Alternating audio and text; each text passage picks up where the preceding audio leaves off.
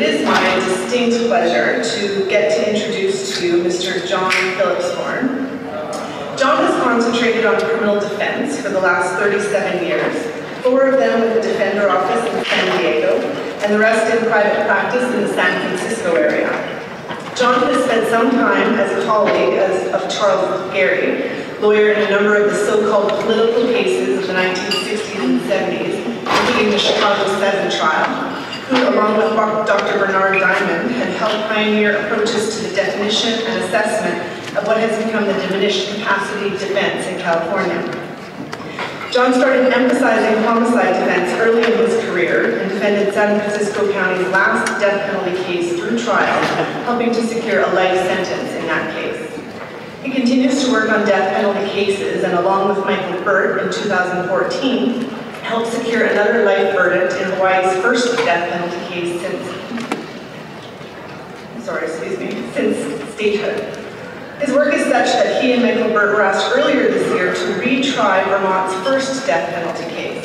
Neither Hawaii nor Vermont has a death penalty, state death penalty, and the lawyers are chosen from the ranks of death penalty defenders. These are federal cases involving extensive mental health issues. John litigated the first case in which the California Supreme Court agreed to appoint a guardian ad litem for a death row inmate found incompetent to proceed, and in more than 50 homicide cases, the other complex cases that John has defended, he has often worked with mental health and medical experts to address these issues. And I understand that he knows some of you here in this room as well. John is also one of the first, one of the lawyers on the West Memphis 3 case, which has been chronicled in several movies and has garnered worldwide attention for three teenagers convicted of triple murder in Arkansas, men who were freed in 2011. For several years, John has been the author of the Forensic Mental Health chapter in the standard work on California criminal law, practice, and procedure, which is used by judges and lawyers around the state, and is the co-author of a similar chapter in the California Death Penalty Defense Manual.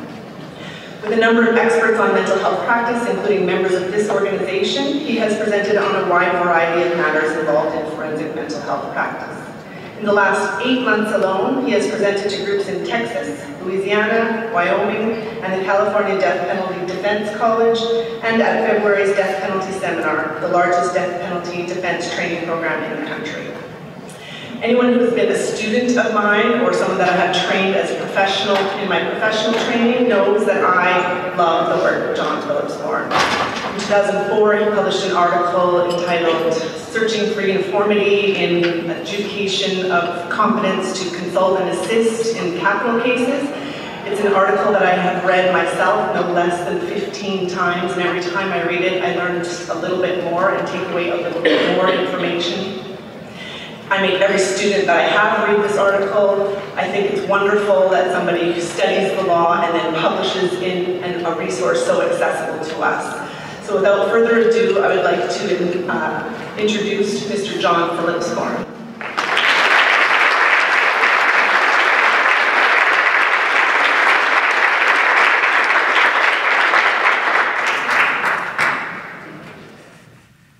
Well, good morning, and thank you so much for such a nice introduction. Can only go downhill from here. Um, I, I do want to start with a minor announcement. I, I hope that the people who were from Simon Fraser who were looking for their American flag socks last night found them. It's kind of an inside joke for some of us who were on one of the elevator rides up from the bar yesterday evening. But I'm, I'm glad to see that some intense study has been done, certainly when the sun goes down at this conference. One of the things I do want to um, begin by, by telling you is that it's humbling to have a chance to to throw things on the floor here, but also to uh, present to your organization, in part because some of the marquee names and some of the real contributors to the development of the field of forensic uh, mental health practice are, of course, affiliated with this organization and um, ha have done tremendous work to help those of us who are in the courtroom do better at understanding and presenting information that is essential to useful adjudication of cases. And so I, I do want to tell you that uh, at, on the cusp of this discussion, it is a daunting task to face you and to try to discuss your field with you. And at the same time, I think one of the things, one of the places where there's a really uneasy fit between what you do and what I do, a seam, if you will, is uh, between the areas of, uh, well, uh, they are the areas of where we learn about you. We get a takeaway from the literature, from the curricula that you learn from, from the practice manuals, from the best practices series, from the many research publications. We, we learn your approaches to at least the degree that we can without the specialized training that you have. Um, we, we learn um, what uh, we learn to try to differentiate an acceptable forensic assessment from a drive-by assessment. But one of the things that hasn't really crept into your area of practice as much as I think it should particularly currently, um, is what we also are not paying enough attention to, and that is where the case law, particularly in the United States, and since I do know about the sock issue in the elevator, I know that there are people from Canada, and there may also be people who are aware and familiar with uh, forensic mental health as it is applied in English courts. I'm dealing specifically here with, with courts in the United States with standards that are applicable mainly in the United States with practice in courts in the United States. There are areas of endeavor in which the standards that you should really be paying attention to and that all of us should be informed about, and the practices that are discussed and the concerns that are discussed appear in the case law. And I guess part of what I'm here to talk to you about are some of the areas in which I think in that seam, in that intersection, we need to fill in those, the gaps a little bit with attention to the case law. And what that means from an, uh, to borrow from a person that I admire greatly, and I've had the privilege of working with and, and teaching with on a few occasions, to borrow from Richard Rogers, who, who often in his work, in his writings, talks about how to operationalize certain concepts that you draw from the research and the literature. You, you, you seek to try to put things into practice. And so, um, one of the things that I want to illustrate for you in a discussion of some cases, some recent case law and some not so recent case law, are, are areas in which the takeaway is when you are getting ready, if you're a mental health professional, to do an assessment, when you're getting ready, especially to bring um, your opinion evidence into court, you really need, among the acquisitions that you, you put on the table to review, you really need to review pertinent case law. And the literature, the practice literature that concerns you, even this, these excellent works, the, the pamphlets that, that um, we've gotten from doctors Goldstein, Heilbrun, and Grisso uh, the, the Best Practices series, which is a, a very, for lawyers, very informative series, and I would imagine for younger uh, professionals in your fields it is as well. One of the things that's really vastly underplayed is the importance of being familiar with the, the legal standards. And it's also in terms of actual practice.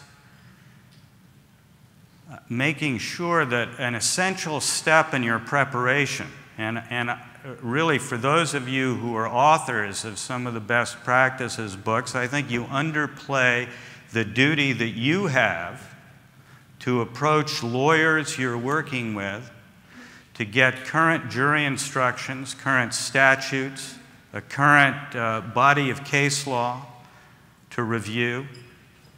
In, in certain instances where you're doing sanity evaluations, mental health uh, evaluate, or mental state, mental condition, mental state defense um, assessments, you need to reach out to both sides to find out what their definition of the legal parameters of the issues is. Um, even if you're retained by one particular side, I think a sound practice is for you to approach the lawyer you're working with and to indicate that a sound practice for you is to make sure that your understanding of the issues that have been bracketed by courts is sufficient to allow you to testify in a defensible way. So let's start. Let, let, let me give you an illustration.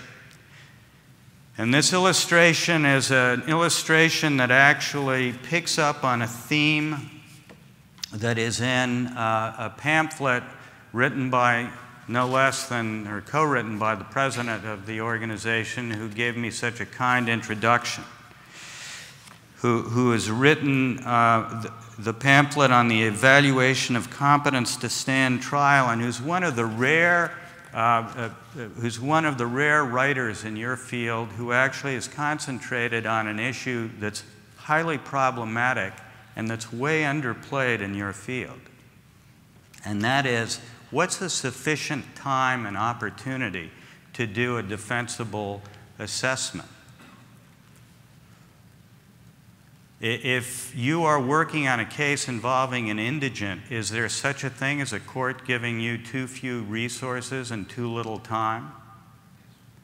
Is there such a thing as you're having only uh, limited access to the accused, such that you really can't leave the examination room saying that you have had enough time to be able to defend your data? I can tell you, having reached out, having actually done a survey of lawyers um, who do capital cases, that uh, in, a, in a, and this is completely unscientific, I understand, but it's at least uh, a starting place. Having surveyed 170 lawyers uh, who have had cases involving mental health practitioners, only two of them um, were in a situation in which an examiner said, I'm not willing to go on the stand because I've had an inadequate opportunity to evaluate the accused. I don't feel I've uh, put in enough time. United States versus Merriweather, a federal capital case that uh, involved a competency question. And it's a, uh, it, it's a case that's been there that was decided by a federal district judge. Now, those of you who have some background in law or are generally aware of the functioning of the U.S. system, you would understand that this is an opinion written by a trial court. In other words, the lowest court in our legal architecture. But the importance of drilling down into these cases is as follows. It turns out that in the last approximately 10 years, the widest ranging uh, rulings on forensic mental health issues uh, have come out of trial courts, and especially federal trial courts. Because generally speaking, it is the trial courts that have the opportunity to, uh, uh, to, to assess whether or not the experts who are in a case actually are going to be permitted to testify. And so they make the evidentiary rulings, and in federal court, because federal judges have staffs that permit them to do so, they sometimes write very lengthy rulings assessing particular experts. And also, as we're going to find out, in one of the later slides, If they feel that an expert has undercooked or underbaked his or her work, they put your name down in a, in a published ruling that is on the proverbial books, these days available to be easily searched through uh, electronic law libraries.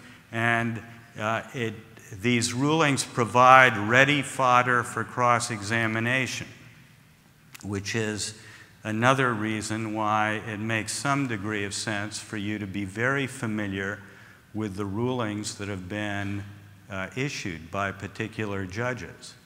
Unless you feel that this practice of these elaborate rulings is only with federal judges these days, it actually is increasingly being, these sorts of rulings are being put out by state court judges in part because they have been influenced by this practice of uh, lengthy memoranda rulings that discuss in some detail what the experts have done. So, what's the takeaway from Merriweather?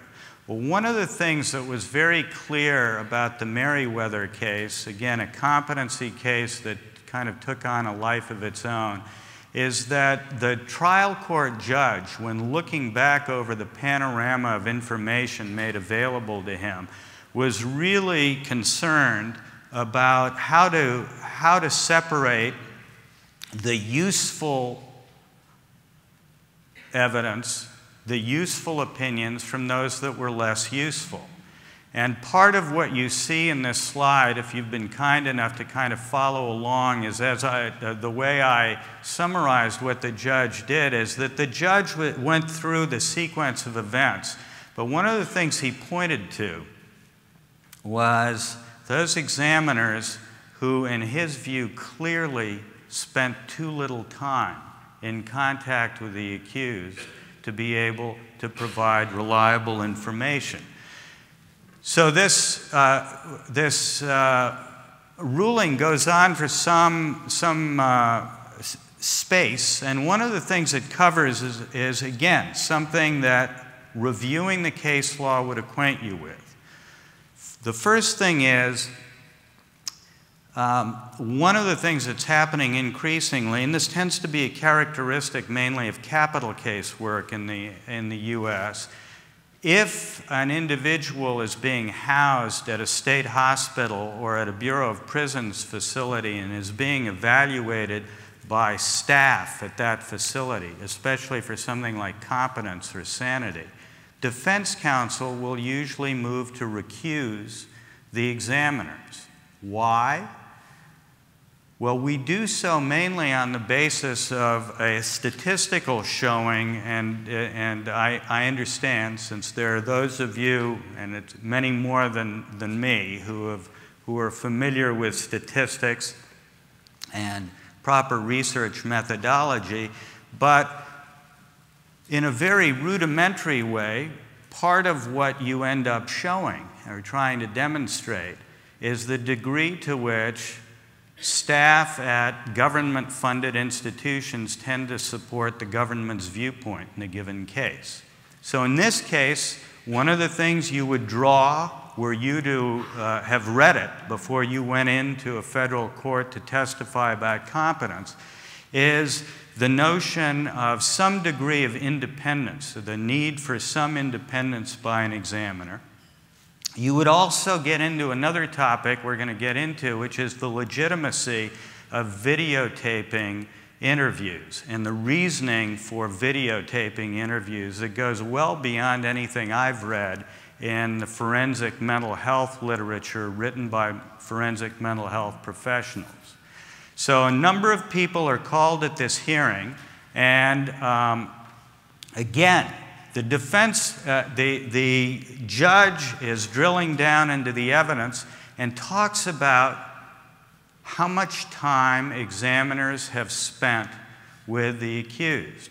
Rick Dudley, Richard Dudley, psychiatrist from New York who's worked on a number of capital cases, is described as having met the accused on three separate occasions, spent 16 hours with him, and then you can kind of follow along and one of the things this judge is leading up to is that for him, given the issues in this case, he was concerned about people who only had occasional, occasional opportunities to see this accused. He was more interested in the circumstances presented in somebody who had essentially longitudinal data to review. And in the end, in this lengthy and completely illegible passage that I'm putting up for you, if you can read at least the, um, the bolded part, the court basically explains that in the end, and, I, and uh, I talked to one of the lawyers who did this hearing, part of what the judge settled on and part of what the judge was pushing the parties to settle on was that if you wanted to look at the greatest um, element of reliability from a, again, not, not so much from your field's viewpoint, but from the viewpoint of the admissibility and, and evidentiary value of opinions from forensic mental health professionals, it was the amount of time that, that the examiner had to spend and spent with the accused. And so, when in this pamphlet, one of the things uh, that's covered are the logistics of the evaluation and this great statement if the timeline is too short and the evaluator does not believe that there is enough time to conduct a thorough evaluation, this should be communicated to the referral party. That's no joke. Um, that's actually not even speculation by a well thought of uh, authority in your field. That's actually something that can easily be communicated if you look at the, the audience ultimately that you're presenting to in a contested case, and that's the judiciary, usually in a competence case. And so, what's happened with this, this is not that old a ruling is that now in four different competence cases that have drifted through the federal courts, part of what the parties are arguing about is whether the, uh, the assessing experts actually had what's called Merriweather time. And so you see the takeaway. One of the gateways, as you know, and, and there's a lot of writing in your field and in mine about you know, the gateways for the admissibility and the admission of, of uh, testimony from an expert, has to do, among other things, whether the, the third element down, the testimony, is the product of reliable principles and methods. And in terms of our Merriweather factor, that's where the judge slotted the time factor. Exposure to the accused equals greater reliability. Now, whether that's correct or not, I mean, I, I think one view of it would be if you have schlock at the BOP facility and you have pretty poor evaluators, you're going to get just a lot of schlock done over a lot of time, as distinguished with better work done by higher end better qualified, more attentive, um, more useful evaluators who only saw the accused episodically. But I think the point is made.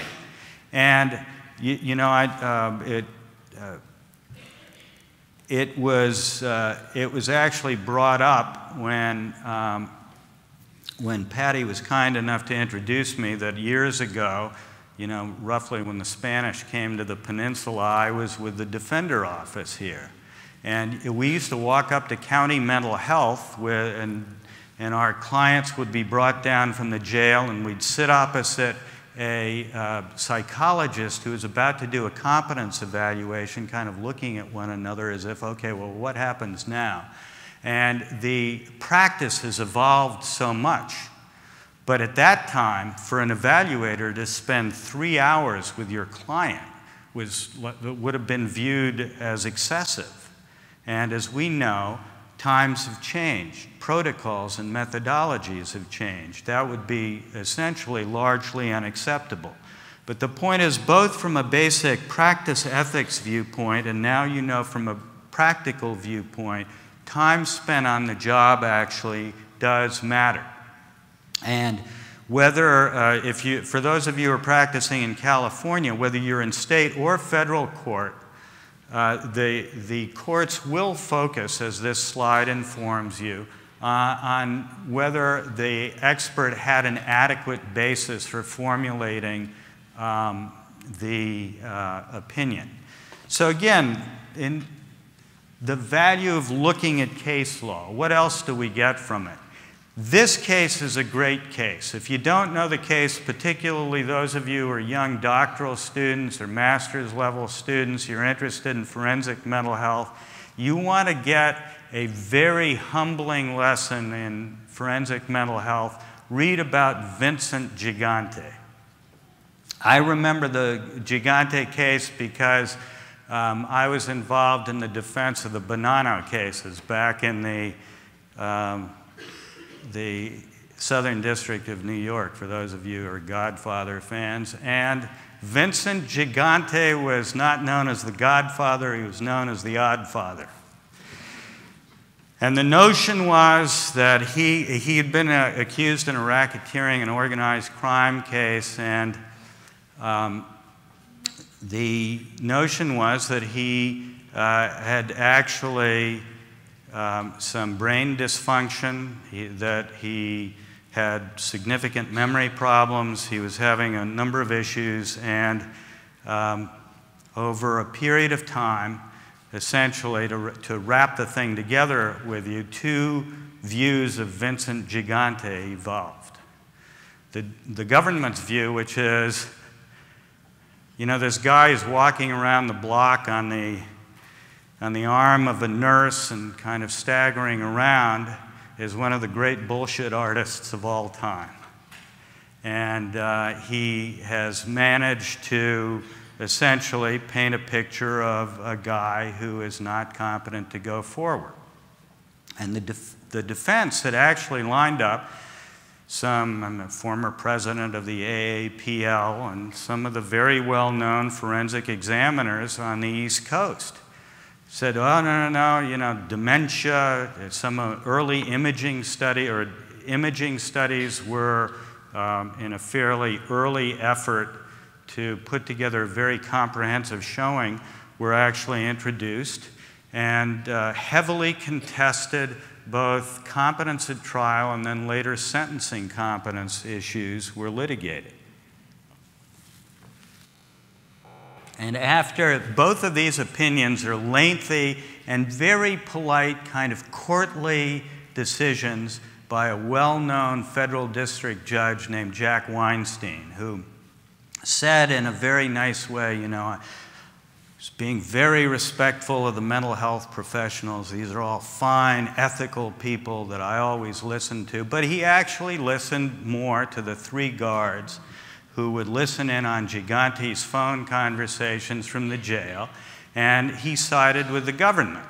And the bottom line was that um, we had a plethora of people who showed up with varying methodologies, varying lengths of time of observations. We had uh, multidisciplinary assessments, we had scans brought to bear, and it was crap. What I got out of it is that the forensic mental health professionals were deceived. And these were leading people. What's the takeaway? The takeaway is, and, and this is, the, it is in our world called the gigante trump. And it gets to something that's in the book that Patty co wrote and that's in the, the uh, sort of the, the the tugboat of the forensic, the best practices series, and that's the value of accessing third party information. But if you're doing competence assessments, it's actually the value of your asking, whether you're on the defense or the, the government side, for access to people who are actually in the housing facility that the client is in, so that you don't get surprised and so that you don't get the gigante trump. Um, the other thing that, uh, the other thing to collect, and it's a, it is, in my view, um, the, still the most comprehensive ruling on competence assessments there is it, by one of the very fine judges. You wouldn't think of, Louisiana is a mecca for many things. And, uh, but you wouldn't think it's for, for uh, judicial review of forensic mental health practice. But in fact, uh, Judge Berrigan, uh, Helen Berrigan, who is down in that area, and, and several other judges have, actually, have written some of the, the now best considered um, rulings, recent rulings in forensic mental health. And Duhon was uh, one of the earlier rulings in the area of competence assessment. The takeaway from it was an unusual takeaway because it was a situation in which, oddly enough, one of the same experts from the, Berger, uh, from, uh, the Merriweather case, Dr. Berger from BOP, was one of the examiners. And uh, the, the BOP, I think, very confidently submitted their reports about this young man's competence. He was intellectually disabled, but the notion was he'd gone through a restoration group and there was no doubt he was restored, and, you know, what's the problem here? And part of what the judge asked was, well, what are the elements? Let's go through the elements of competence and tell me, link the methodology used and data collected to each one of the elements of competence. And they got to the DROPE element of ability to consult with his lawyer, the rational degree of understanding. And the notion was I, I understand you gave the CAI, I understand you gave some of the elements from the MacArthur competency assessment tool. I understand you did your kind of gigante review, um, talking to nurses and some of the custodial staff. But where is it that you actually concentrated your evaluation on this particular element? And the judge concluded and this is a conclusion that I think has been drawn by a number of people in your professions that there's really nothing that you bring to the table, with the exception maybe of the assessment of somebody's capacity to uh, assist a lawyer.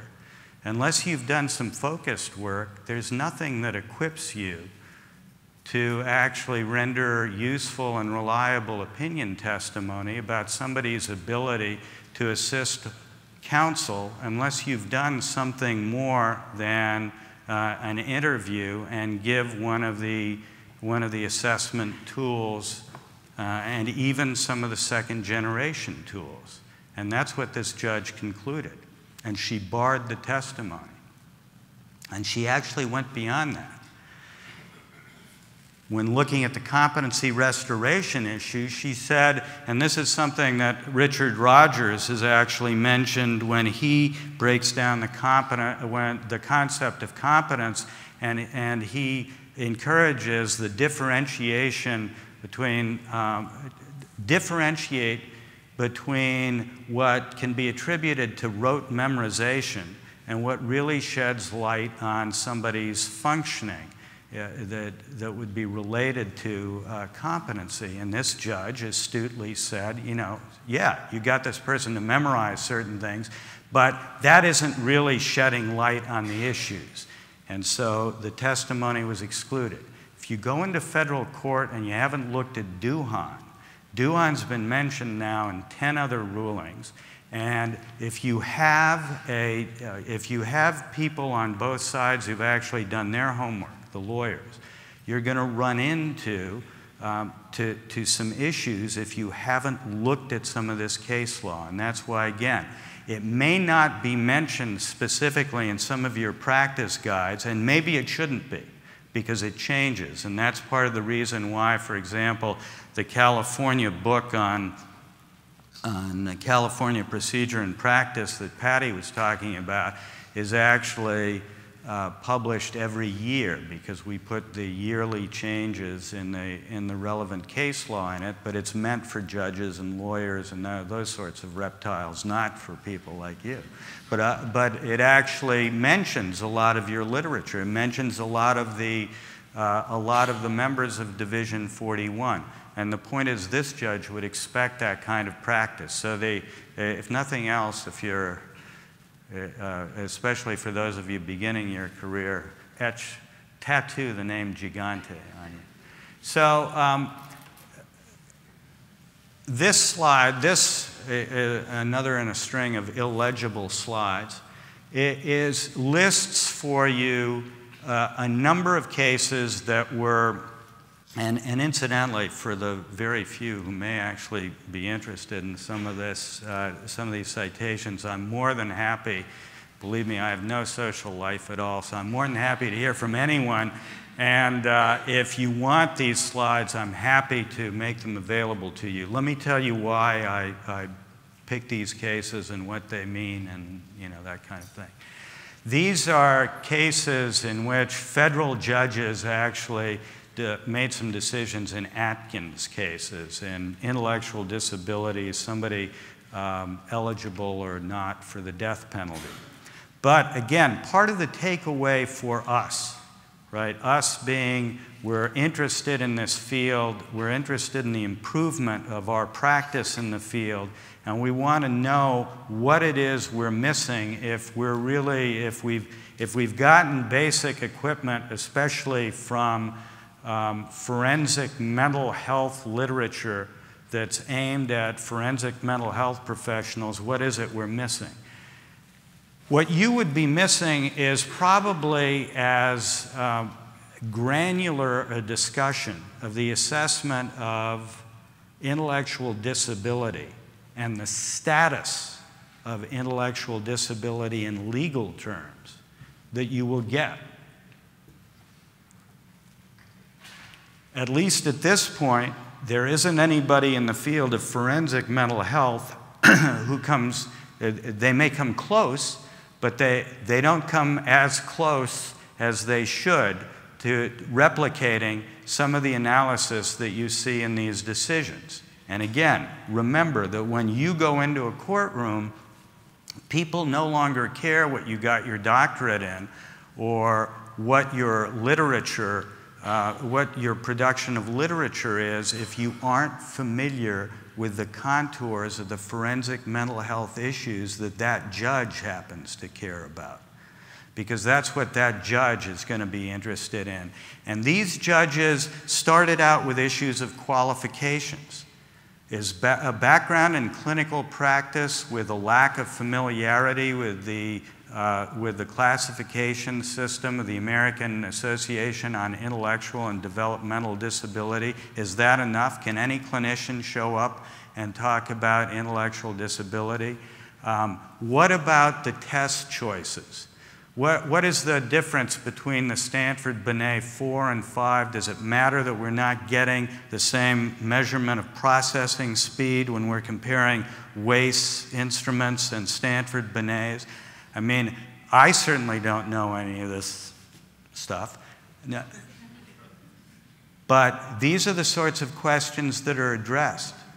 Two, three days on norm choices people emailing like maniacs to Robert Heaton about what he really meant about uh, this or that, what, what, uh, wh whether people um, are actually correctly uh, characterizing the Flynn effect. And incidentally, there are judges who've now invented their own intervals or their own um, figures to apply to the Flynn effect. And so when you are in front of those judges, it actually makes some sense to have read some of their stuff so that you know where their particular insanity is. And you can either correct it or work with it, work with their, their delusional system. But the point is, these are 30, 40, 50, 60 page rulings in which there is a lot of careful examination of who the professionals who testified are, who made the more credible presentation, where they fell down, where some of the, uh, the methodologies uh, left black holes, etc. part of what, uh, and, and, I think again, part of the takeaway here really comes from the recent U.S. Supreme Court decision in Hall versus Florida, which is where the, the court finds essentially that Florida's statute that, uh, that passes, that essentially defines a 70 IQ uh, as the bright red line that will separate those who are intellectually disabled from those who are not for death penalty purposes. Part of what the court says in that um, ruling is Florida's statute is out of line with established medical practice. How do you see what established medical practice is? Well, you look to the literature that you have actually published and, and uh, to standards that you promulgate and that your field has developed, and you look to the case law. And that's why, um, the, that's why one has to underscore this notion that a forensic mental health expert does indeed have to be familiar, and more, it has to be more than a passing familiarity for a given case with uh, the forensic mental health rulings. So let's just, again, let's, let's work with this concept and use an example. Um, and if you read from, from the various works on competence assessment, you know, the question is the question I'm, I'm kind of putting out there as the straw man or the straw woman for this part of the discussion is does it make sense to talk to the defense lawyer? Should that be part of your standardized practice? And you looked at Melton et al., and they make a strong recommendation, and they have their reasoning. And you go back to Grisso's seminal work on the assessment of competence, and well, yeah, you should do it because it informs you about specific behaviors. And then you look to the best practices and an important resource, arrest reports, et cetera. Not one of these sources actually references the, the case law. And, and maybe, maybe they're right. Drope versus Missouri, one of the things that the U.S. Supreme Court, this, this predates all three of those sources, says that, uh, among other things, the, the notion here is you don't have to take a lawyer's say so, but a lawyer's um, view that somebody is not competent is unquestionably a factor that should be considered. Well, maybe what they're talking about there is really that's something that the court should consider. It's not really a data point that anyone else needs to worry about. Although in Drope, what happened in Drope was basically a case works its way through the Missouri system it gets up into the federal system, and in the federal system, the litigators say, look, if three times Drope's lawyer brings up problems he's having talking to Drope, they bring forward Drope's spouse, who talks about uh, the way Drope had gone sideways uh, during the pendency of the case and, and uh, talks about his behavior. And um, what happened here was a travesty. It should be done again. And so the U.S. Supreme Court said, well, it should. And it's not like they were depending on a forensic mental health professional for the data points that caused that case to be reversed. But let's say again, let's mark, that may not be clear enough evidence that we should rewrite the books. What about this? What do you say about that? That, to me, coming from the U.S. Supreme Court, would tend to mean that I might want to actually talk to the defense lawyer. And what it means to me if I'm a graduate student and I'm aiming towards a career in forensic psychology, or I'm an experienced assessor, that I now know that the U.S. Supreme Court actually tells me about one data source. Now, I, I may find, and I've had very experienced people, and so, in fact, someone who writes one of the seminal works on forensic mental health assessment, an influential work, tell me, well, my concern in dealing with uh, defense lawyers is that you know you're a biased source of information. That's a valid point. On the other hand, it, it's valid, but is it valid with a capital V? How do you balance it against the fact that you have a, uh, you have a United States Supreme Court that actually talks to you about the utility of that information, that relies in Medina, part of what the court was doing was saying, look, there, there has been some raising of a question of whether Medina was actually incompetent, but his lawyer said that he felt that Medina was competent.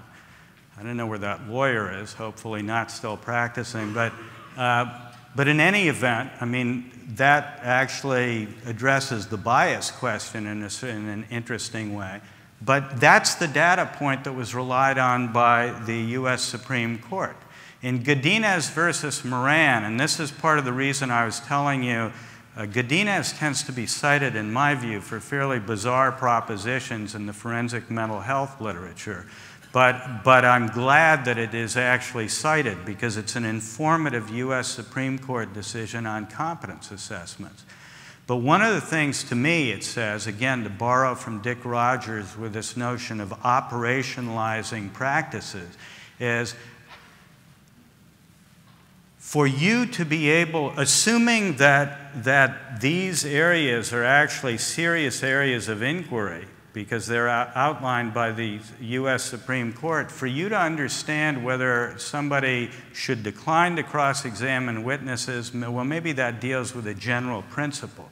But whether somebody should put on a defense or raise one or more defenses does actually frame the question of whether that means that in a given case, you actually, instead of, you know, the barroom brawl of the MacArthur competency assessment tool, whether you actually need to make inquiry about what the defenses are in a given case, what the elements of the crime are, and, and what this particular defendant needs to be able to negotiate, or at least some of the parameters for his or her decision making in a given case.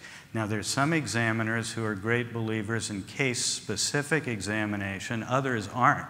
But the point is, you have case law that tends to, to point you in that direction. And uh, in my view, it should be part of the portfolio. Look at this. Another, this is a more recent Supreme Court decision that's referenced in none of the, of the uh, mental health literature that I was able to do a survey of. Uh, for example, an incompetent defendant would be unable to assist counsel in identifying witnesses and deciding on a strategy. I mean, how many times do forensic examiners, especially those who are court appointed, get into those sorts of issues in, in terms of um, focusing on okay, what's the nature of this case? Uh, what are the defenses available? What are the pleas you can enter? And, and I understand there are some competency assessment tools, some structured interviews that allow you to get there, but it's not like that is a permissive practice. It's something that's actually framed by the court that defines what the floor of competence is, that is explaining to you its view of Drope and Dusky in action. And, and, this gets us back to this pronouncement from Duhon. Now, in the interest of full disclosure, I'll tell you that some of this quote was actually attributed to one of the, uh, I was going to oversell this person, but the quote within a quote actually comes from me. And and, and Michael Burt, who's a much better lawyer, a smarter guy. And, uh, but we, we co wrote something on, on uh, competence, and the judge uh, was unwise enough to, to propagate it. And that, but the point is, I do think that the essential point, and I'm sure the judge was not, it's not like she was bowled over by, by uh, the article she was reading. She simply conveniently borrowed from a pleading that had been filed by a defense lawyer on, on what a, a defensible competency assessment tool is. So, again, this is an area in which gathering up the case law, understanding its parameters, is very important. Uh, another area that one occasionally gets into is to tape or not to tape and also what I think are some major misunderstandings Uh, and, and again, for, for those of us who um, uh, are from Canada or from other countries, part of the procedural rules or the procedural rules are in fact different. So, um, uh, you know, some of this babbling I'm doing is really irrelevant to some of the concerns that you would have. But to tape or not to tape, and also uh, raising something that's mentioned in the competency pamphlet, which I found very interesting and which I, I wanted to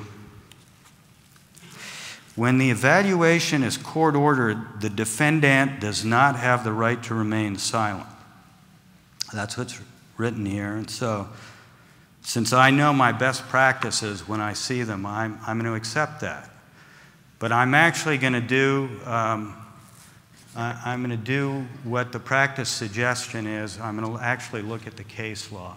And I want to know a little bit more about whether, I mean, there, there's some ethical concerns I have if I'm a forensic mental health examiner about having a third party observer about this tape situation, about the legitimacy of my, of, uh, you know, published tests being videoed. God knows what these defense reptiles are going to do.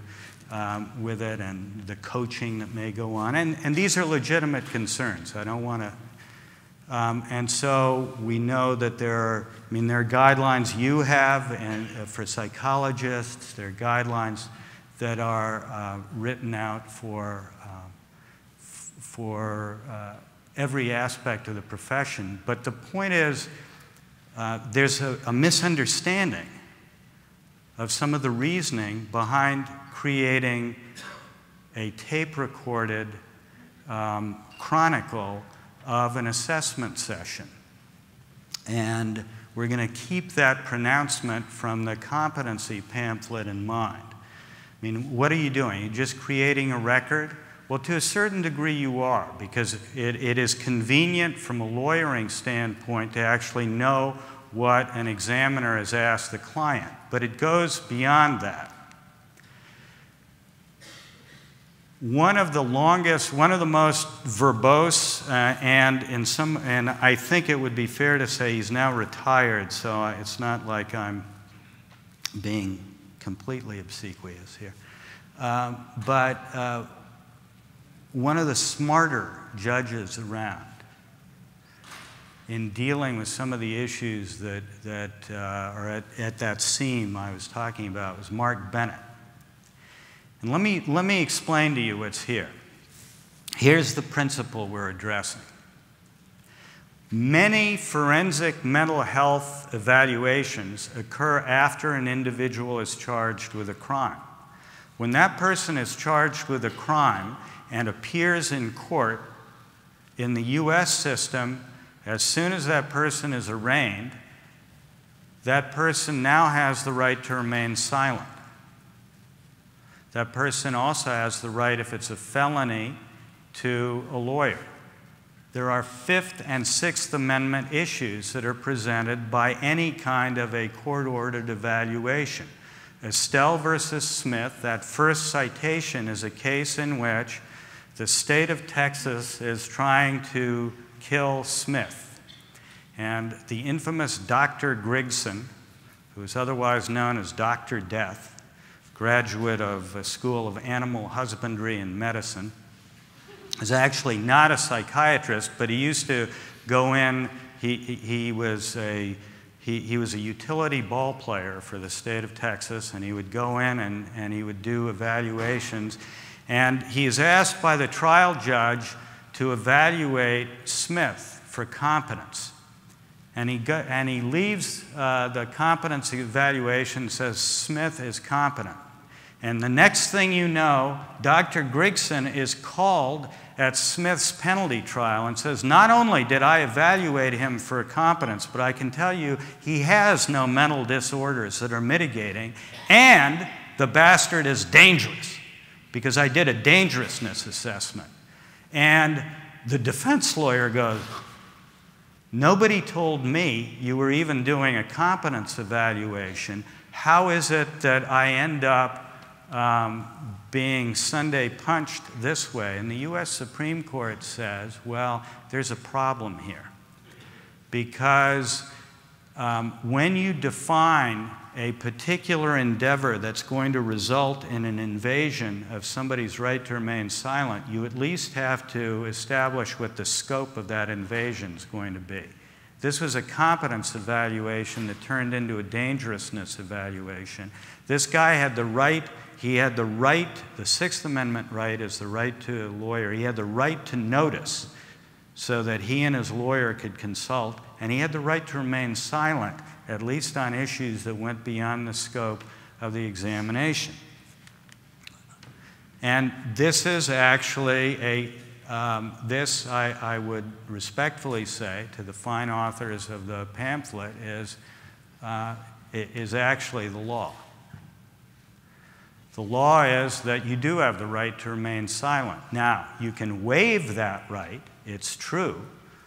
But where there's a court ordered evaluation, you have the right, whether it's an insanity evaluation, or a, an evaluation of mitigation, an evaluation of any condition, you have the right to remain silent. Now, the question is what if the examiner asks you and you say, Doc, I'm not going to answer that question? Can that answer be used against you?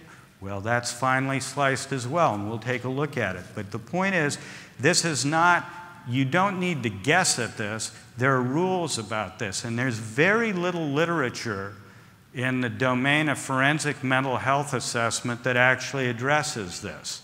And so you get people doing assessments, even fairly high end forensic mental health professionals, who are told, look, I don't want you going into the following area. And they come back very smartly and go, Well, you know, I think I need to in order for me to, to do a defensible assessment.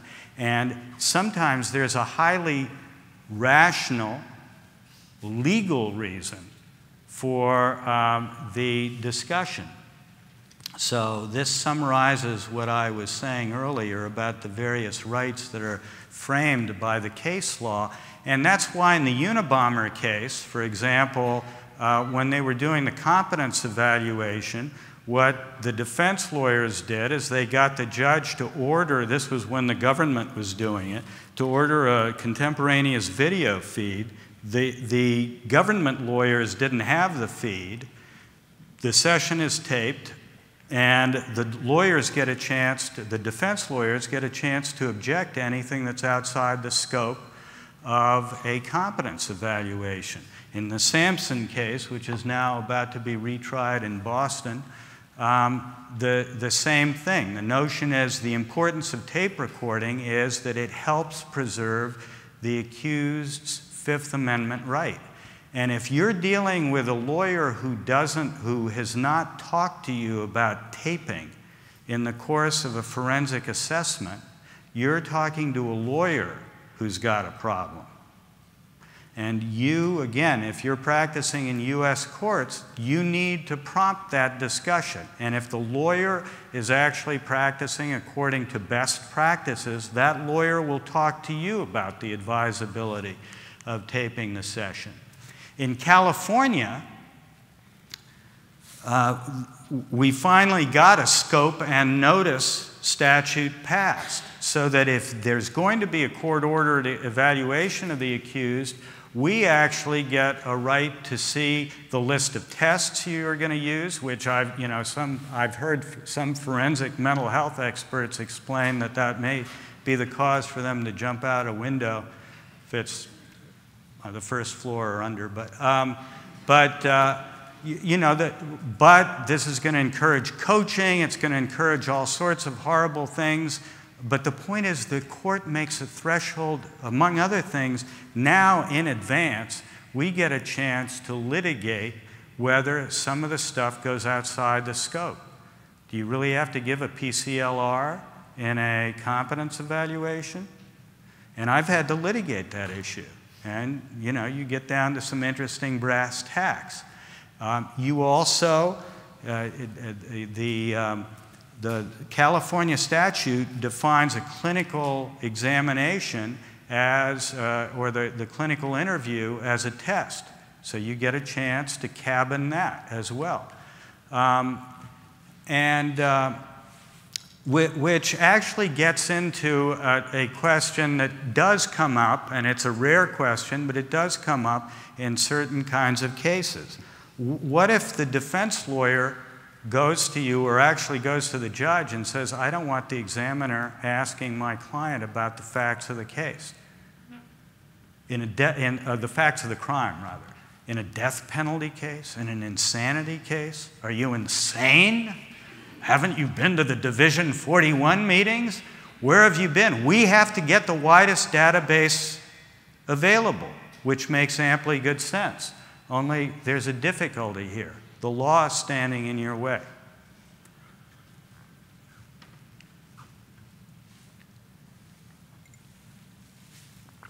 Now, the court raised a question here. It didn't determine it.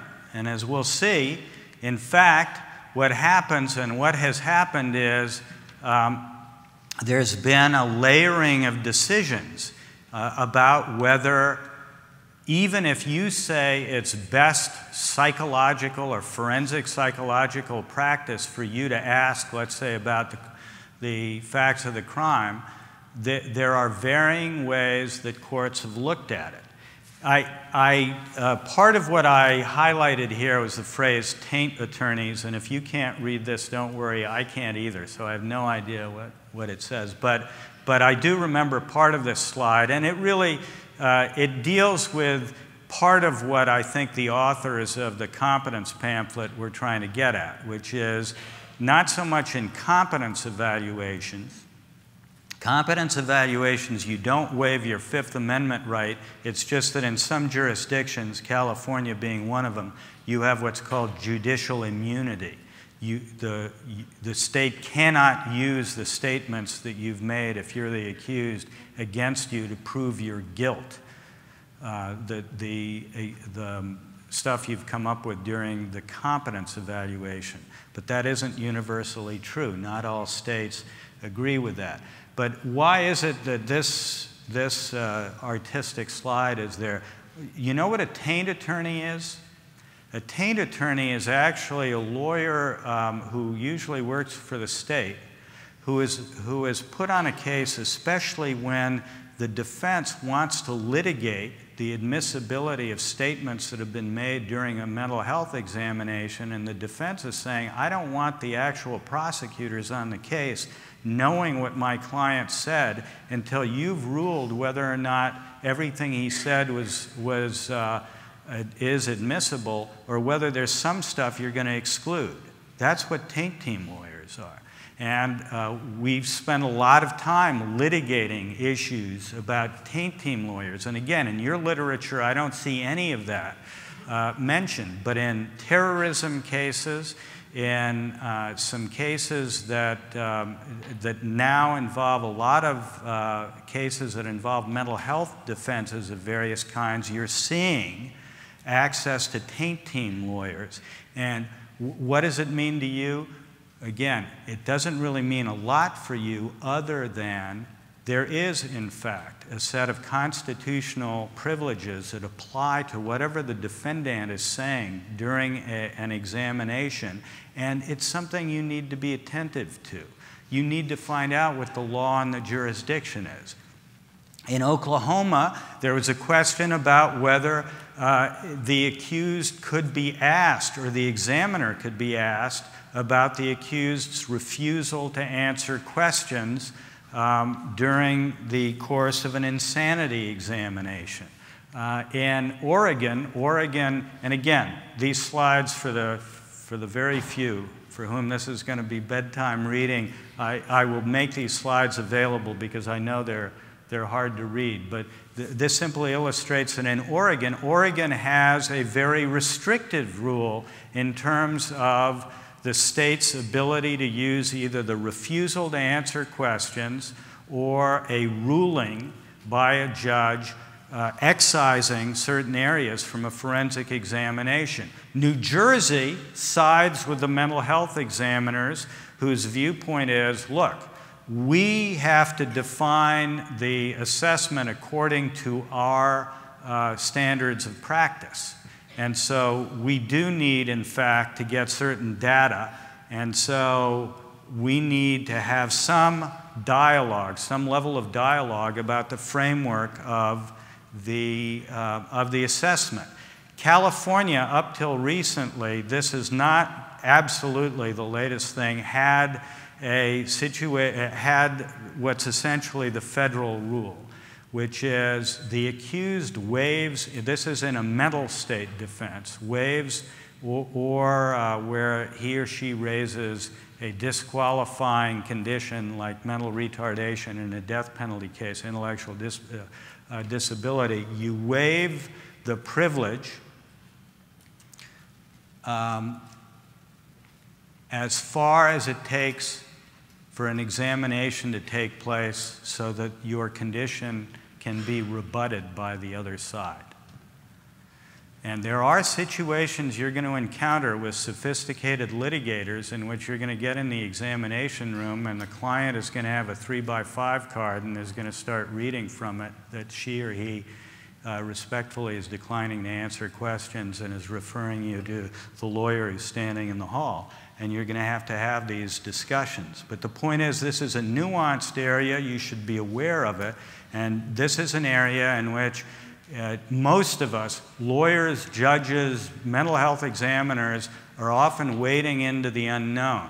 But unless you've actually acquired the case law, you're not going to know you're in this area.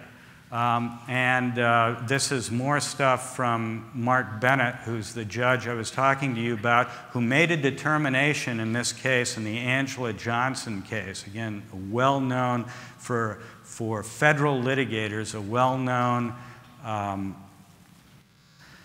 death penalty case that was just resolved earlier this year. But he made the decision that in that case, the examiners would not be allowed to ask her crime specific facts going into the penalty phase, but that if she opened the door, he would revisit his ruling, which kind of makes sense. Uh, so uh, yet another statement from this is from the case that uh, Michael Burt, who did the Angela Johnson case, and I now uh, are in the Fell case. That was the, the ruling in Fell, was very similar to what I told you about, which is uh, this is where somebody puts his mental uh, condition at issue. He's waived his privilege at least to to the, to the extent that's necessary to rebut it. But this is, as you can see from all of these disparate slides and disparate rulings, these rulings are all over the place, and you need to inform yourself of the fabric of the pertinent law. And I do think there's a practice guideline that should come out of it, which is um, it, it goes beyond what tends to be in best practices literature, which is that you should kind of acquaint yourself with the law. It's not that you should, it's really, it should be that you must acquaint yourself with the law, that you must do due diligence to understand the legal contours of uh, the assessment that you're doing and the procedural rules related to it.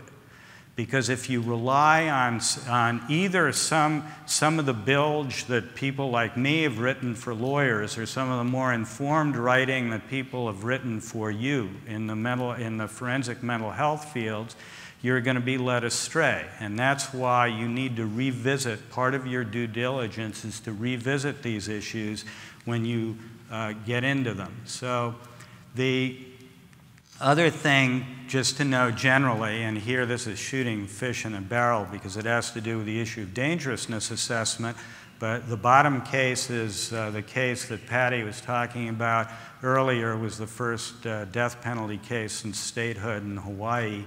Um, but the top case is from the Northern District of Indiana, where judges basically looked through the PCLR reasoning that, that um, assessment experts had for giving a dangerousness assessment, and in context said they felt that the PCLR was too unreliable to give, particularly given the Eighth Amendment's command of reliability. And so, another thing that you should do is make sure. Uh, this goes back to what I was talking to you about earlier in this show when we were talking about competence assessments and the ruling in Duhon where a judge says, wait a minute, you're missing an entire component of a competence assessment. your methodology, your methods have not covered this essential legal requirement. And I'm not going to let you testify. Here it's a little bit different. You've given a certain instrument, or you're saying you need to give it, and I, I uh, as the judge, have looked at, my at the requirement placed on me to admit only reliable evidence, and I have concerns that this is unreliable, may be reliable for you, but it's unreliable for me, the judge. Um, and the same was true, aided in part, though I don't know that he knows this, by, by, um, uh, by Richard Rogers' very useful short article on uh,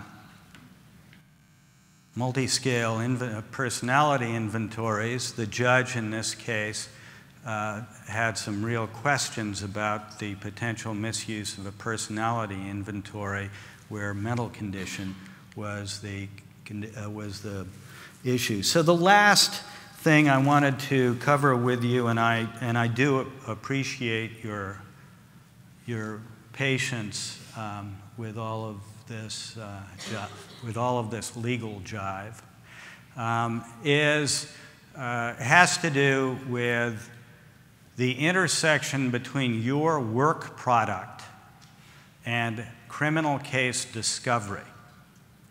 And uh, one of the most valuable sources of information that I've seen um, and again, I'm sure there are wiser minds uh, that have seen better stuff, but for me, since I am just uh, one step above crayons and paper, um, the, uh, this initial mental, the Forensic Mental Health Best Practices pamphlet, Foundations of Forensic Mental Health Assessment, talks about, uh, it provides a summary of what were then the rules concerning the maintenance of documentation of an assessment, your ethical rules, some of the advisory rules, etc. One of the things that the literature that you have that you have access to does not really address um, is the uh, it, it are the rules of discovery in given court systems that apply to experts and the foundation for their testimony. And so, you know, this, it, I guess the rule of thumb that's put together is that anything you put in your file folder on a particular client or particular case might be considered fair game. But now it goes beyond that. What about the phone, your phone records or the records of your conversations with outside sources. Let's say you were one of the people who called Robert Heaton on the norm issue.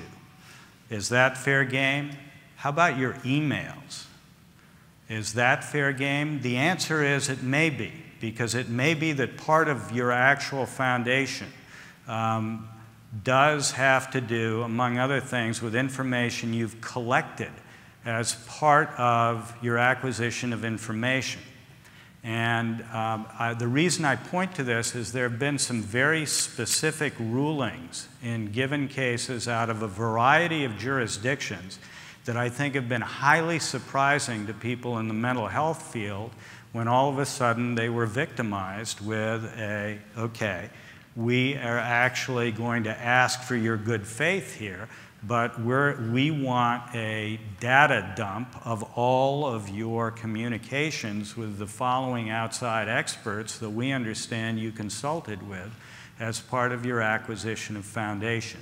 So one of the things that you should collect that should be on your desktop as you approach a given case is whether there are any idiosyncratic discovery practices that are used in that particular court that you may have to object to early in the game or that you may want to talk to the lawyers who are involved in the case uh, about.